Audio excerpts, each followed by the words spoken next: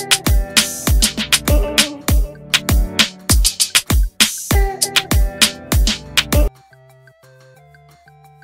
งไงแน่ริวอาทิตย์ถูกแฉวีรกรรมทำคอนเทนต์ตกอับเพื่อนเตือนไม่ฟังกลายเป็นชื่อที่ถูกพูดถึงตลอดทั้งสัปดาห์สำหรับเรื่องราวสะเทือนใจของอดีตพระเอกดาวรุ่นแห่งยุค 90s อาทิตย์ริวหรือริวอาทิตย์ ตั้งสวัสดรัตในวัย 44 ปีหลังเจ้าตัวได้ออกมาให้สัมภาษณ์แบบเปิดหมดใจถึงชีวิตความเป็นอยู่ณปัจจุบันจนกลายเป็นประเด็นช็อกสะเทือนวงการบันเทิง และทางทีมข่าวสดออนไลน์ ก็ได้ไปเยือนตลาดขายของมือสองของริว และได้สัมภาษณ์ถึงเรื่องราวชีวิตที่ถูกตัดโอกาสไปหลายอย่าง เพราะคนมองว่าบ้า แต่ล่าสุดสดสดร้อนร้อนมีคนออกมาแฉว่าเรื่องราวที่ริวพูดคือการสร้างคอนเทนต์ โดย ใน Facebook ของริวได้แชร์โพสต์ของหญิงสาวคนหนึ่งที่ออกมาระบุว่า เดี๋ยวกูจะไม่ห้ามแล้วใครอยากจะแชร์อะไรกูจะปล่อยแล้วกูจะช่วยเขาด้วย ถ้าเห็นคนอื่นดีกว่าเวลาโดนสิบล้อเหยียบกลางถนนมามึงก็หมาตัวหนึ่งจำไว้อยากหักก็หักไปเลยมึงไม่รอดหรอก โจทย์มึงเยอะเกินหลงละเลงไปตอนบวชล่าสุดก็อยู่วัดไม่ได้จนต้องเข้ากทมมาถอดผ้าเหลือง หลังจากนั้นยังเอาซองกระถินไปแจกแล้วเอาเงินในซองมาใช้เองเมื่อประมาณ 4-5 ปีที่แล้วอีก ไปขโมยทองขโมยพระ ผู้หญิงที่อยู่หัวหินเอามาขายจนเขาต้องตามมาตามอินบล็อกถามกูให้บอกมึงเอาไปคืนหน่อยเขาอุตส่าห์ทำงานเก็บหอมรอมริบมา นี่หรอคนดีน่าสงสารกูเตือนไม่ฟังแล้วมาด่ากูนะกูพูดด้วยดีๆ เอาเลยเอาให้สุดเรื่องพวกนี้เยอะๆ อยู่ทำคอนเทนต์ให้คนสงสารได้ระวังคนก็จะเกลียดได้โกหกทั้งเพจโดยริวได้ไปคอมเมนต์กลับใต้โพสต์ดังกล่าวด้วยว่า มึงคือเพื่อนที่เฮี้ยที่สุดและเพื่อนมึงก็ไม่มีใครคบ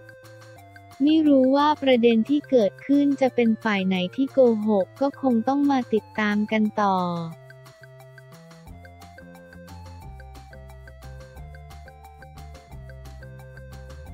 โหดอีกคู่ นักชกไทย เตะก้านคอนักมวยเขมรหลับกลางอากาศคายกสองคลิป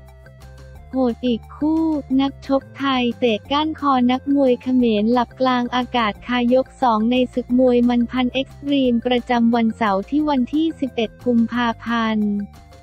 66 คลิป กำลังเป็นที่น่าสนใจและกำลังเป็นดราม่าเดือดในวงการมวย ระหว่างแฟนมวยไทยกับแฟนมวยกุนคแมที่ฟาดปากกันอย่างดุเดือดในโซเชียล แถมยังลุกลามไปถึงการท้าทายมวยดังชาวไทย อย่างบัวขาวบัญชาเมฆด้วย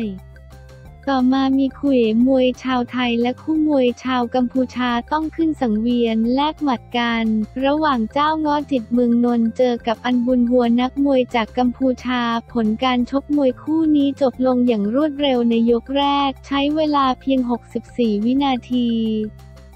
โดยเจ้างอจิตเมืองนนท์สามารถชนะน็อกนักชกชาวกัมพูชาไปได้อย่างนกกระจอกไม่ทันกินน้ำ ล่าสุดมวยไทยประกาศความยิ่งใหญ่อีกครั้ง เมื่อเพจ Fairtex Fight เผยแพร่ภาพการชกระหว่างวิน Fairtex นักชกชาวไทย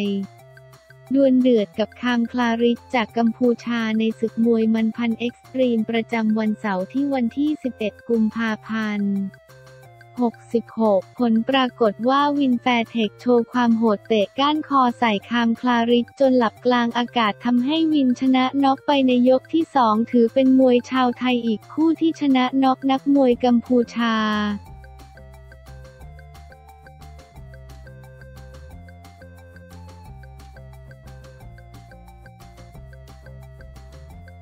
คอมเมนต์เดือดแฟนมวยกัมพูชาไม่จบหลังนักชกเขมรโดนไทยน็อกใน 64 วินาที คอมเมนต์เดือดแฟนมวยกัมพูชาไม่จบหลังนักชกเขมรโดนไทยน็อกใน 64 วินาที บอกไทยโกงนักมวยเขมรยังไม่ล้มเลยสู้ได้สบายมาก ถือเป็นอีกยอดนักชกสำหรับเจ้างอจิตเมืองนนเอ และกำลังถูกจับตามองอย่างมากด้วยสไตล์การชกที่ดูดันกล้า แลกไฟล่าสุดสามารถเอาชนะน็อกอันบุญหัวนักมวยจากกัมพูชาได้ในยกแรกใช้เวลาเพียง 64 วินาที คว้าโบนัส 10,000 เหรียญหรือประมาณ 350,000 บาทในศึกมวยวันลุมพินีที่เวทีมวยลุมพินีรามอินทราเมื่อวันที่ 10 กุมภาพันธ์ที่ผ่านมาเจ้าเงาะจิตเมืองนนท์สำหรับสถิติของเจ้าเงาะนักมวยจากอำเภอวังสามหมอ จังหวัดอุดรธานีต้องบอกว่าไม่ธรรมดาเนื่องจากการชกทั้งหมด 19 ไฟสามารถเอาชนะน็อกได้ทั้ง 19 ครั้ง และเป็นการเอาชนะน็อกยกแรกเป็นไฟที่ 14 แต่หลังจากจบไฟดังกล่าวแฟนมวยกัมพูชาต่างออกมาคอมเมนต์กันในโลกโซเชียล อาทิกล้ามาชกที่กัมพูชาไหม ไทยโกงนักมวยเขมรยังไม่ล้มเลย สู้ได้สบายมาก เราไม่เคยเห็นนักมวยคนนี้ในกัมพูชา เขาไปทำงานที่ประเทศไทยและฝึกมวยไทย ไม่ใช่กุลขแมขอบคุณที่มาภาพค่ายมวยจิตเมืองนนเจ้าง้อจิตเมืองนน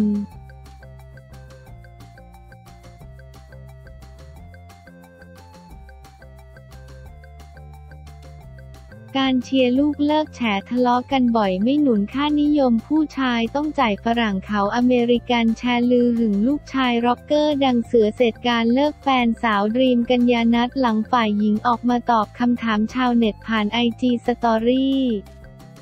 ย้ำสถานะโสด หลังจากนั้นไม่นานก็ได้โพสต์ข้อความทำนองว่า ไม่โอเคถ้าผู้หญิงต้องเป็นฝ่ายจ่ายทุกอย่าง ผู้ชายต้องมีภาวะผู้นำรับผิดชอบ พื้นฐานครอบครัวปลูกฝังผู้ชายต้องไม่เอาเปรียบผู้หญิง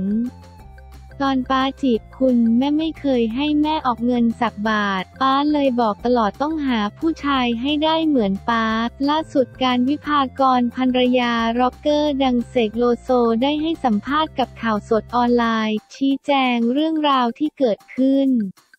พร้อมเผยความสัมพันธ์เสือดรีมเลิกกันจริงไหมดรีมกับเสือเลิกกันแล้ว การได้ข่าวว่าเขาทะเลาะกันหลายรอบแล้วนะ ระหองระแหงจะเลิกกันหลายรอบละเขาไม่ได้อยู่ด้วยกันคงสุดทนมั้งก็เลยมาโพสต์เห็นโพสต์ต่อว่าน้องเสือหนีว่าไม่จ่ายค่าอะไรเลย ซึ่งตัวเองก็เอามาโชว์กันสดๆ ว่าเสือโอนเงินให้สารพัดแต่ก็อย่างว่าแหละมาโพสต์ประมาณว่าพ่อแม่เขาไม่ให้ผู้หญิงออกค่าอะไรเลย ผู้ชายต้องเป็นคนออกให้ผู้หญิง การที่คุณโพสต์คำนี้มันหมายความว่าอะไร ไม่ได้หมิ่นประมาทนะ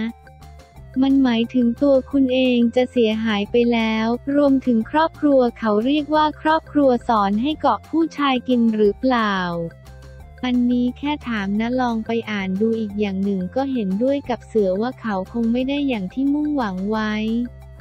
แต่การไม่ได้พูดในฐานะที่เขาเป็นลูกการนะ คือในความจริงน้องเสือเขาอยู่อเมริกานะ คือเขาเป็นฝรั่งเขาอเมริกันแชร์ทำอะไรก็ต้องแชร์กันหมด เขาไม่จำเป็นต้องมาออกอะไรคนเดียวหมด แต่ว่าทางนั้นมาบอกว่า เสือไม่ออกอะไรเลย ซึ่งเป็นไปได้ปะละแต่คุณควรจะต้องแชร์ ผู้หญิงที่เกาะผู้ชายกินหรือคิดว่าผู้ชายจะต้องเลี้ยงตลอดเวลา ตอนนี้ค่านิยมของคนไทยเป็นแบบนั้นไม่เหมือนต่างชาติต่างชาติเขาเป็นแฟนกันเขาต้องอเมริกันแชร์นะ ส่วนใหญ่ทะเลาะกันเรื่องเงินมีเรื่องอื่น ๆ ที่ทำให้เลิกกันอีกไหม ล่าสุดคิดว่าเรื่องเงินนะคะแอบเป็นห่วงลูกชาย โอ้ยมีเรื่องก็เป็นห่วงโกรธกันทะเลาะกันก็ห่วงตลอดเวลา 24 ชั่วโมงไม่เว้นแม้วินาที เพราะเขาเป็นลูกการรักของการมากฝากบอกเสือและกวางว่าแม่จะถอนฟ้องทุกคดีเลย ขอให้สบายใจได้ไม่ต้องห่วง ไม่ต้องกังวลเครียดการไม่มีข้อแม้นะยอมรับผิดทุกอย่างคนเดียวการขอเริ่มต้นใหม่แล้วก็จะถอนฟ้องทั้งหมดครั้งสุดท้ายครั้งเดียวแม่ไม่เคยขออะไรแม่ก็จะถอนฟ้องทั้งหมดเร็วๆนี้ทุกคดีค่ะ ตอนนี้เสือและกวางยังไม่กลับบ้านยังค่ะแต่ก็มีคุยกันบ้างเล็กน้อย แต่ก็อยากให้กลับบ้าน ในส่วนตรงนี้จะถอนฟ้องดรีมด้วยไหม ไม่เกี่ยวสิคะทำไมต้องถอนอันนั้นไม่เกี่ยวกับกานต์ แค่คนที่กานต์แคร์ให้ได้ทุกอย่าง คือเสือกับกวางและลอนดอนไม่ใช่คนอื่นค่ะใน TikTok บางคนบอกว่ายังไม่เลิกกัน สรุปตอนนี้เลิกกัน โพสต์ด่าขนาดนั้นหาว่าผู้ชายไม่ออกอะไรสักอย่าง ต้องวิเคราะห์ดีๆ ว่าสร้างกระแสคือผู้หญิงเวลาโกรธมากๆ เขาจะโพสต์พอโพสต์เสร็จก็เสียฟอร์มเป็นข่าว ก็พยายามแก้ข่าว พอไม่รู้จะไปทางไหนก็บอกว่าไม่ได้เลิกกันเหมือนเดิม ซึ่งเขาอาจจะทะเลาะกันมาหนักมากในช่วง 7-8 เดือนมานี้หลายรอบละซึ่งก็อยากบอกว่าถ้าไม่ไหวก็อย่าฝืน คนที่ไม่ใช่ก็คือไม่ใช่ แล้วที่มาโพสต์ว่าเสือไม่ออกอะไรเลยให้แต่ผู้หญิงออกเขาก็บอกว่าบ้านเขาไม่เคยสอนให้ผู้หญิงออกอะไรเลย ผู้ชายต้องเลี้ยงผู้หญิงทุกอย่าง ทัศนคติค่านิยมนี้มันผิดมากไม่รู้ส่งมาตั้งแต่ยุคดึกดำบรรไหน เพราะสมัยก่อนหรือสมัยไหนไหนการยังไม่เคยรู้เลยว่า ผู้หญิงจะต้องไม่ทำงาน สมัยชาวนาชาวไร่คนจนเขาก็ไปทำงานช่วยกันผัวเมียไม่ใช่ว่าไม่ทำอะไรเลย เวลากินก็ต้องแชร์กันอย่างการก็ต้องทำงาน มิงั้นเสกจะให้เงินการเปล่าไม่มีทางการทำงานแลกเงินไม่ได้เกาะเสกกินอยู่แล้วนี่พูดได้เต็มปากร้อยเปอร์เซนต์พี่เสกคนเดียวเท่านั้นที่รู้ว่าความจริงคืออะไร